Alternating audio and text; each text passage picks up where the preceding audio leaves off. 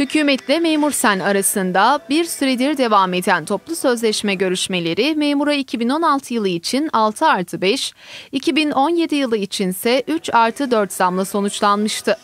Sağlık Sen Samsun Şube Başkanı İlhan Öksüz, zammın yanı sıra sağlık çalışanları adına masadan önemli kazanımlarla kalktıklarını ifade etti.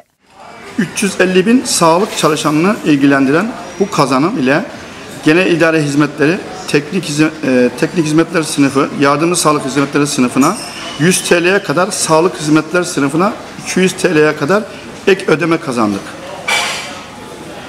Emekli maaş ve ikramiyesi tüm çalışanlarımızın emekli maaşlarının ve emekli ikramiyesinin artırmasını sağlayacak özel hizmet tazminatı yan, e, yansıtma oranlarının 15 puan artırılmasını sağladık.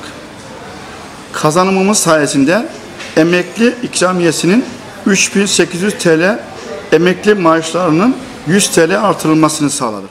Söz konusu kazanımların 23 Ağustos 2015 tarihli resmi gazetede yayınlanarak yürürlüğe girdiğini belirten Öksüz şöyle konuştu.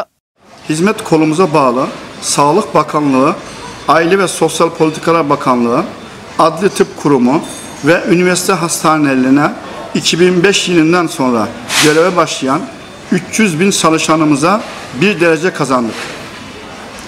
Kazanımımız sayesinde düşünülen dereceye göre 250 TL'ye kadar ek kazanç elde edecek.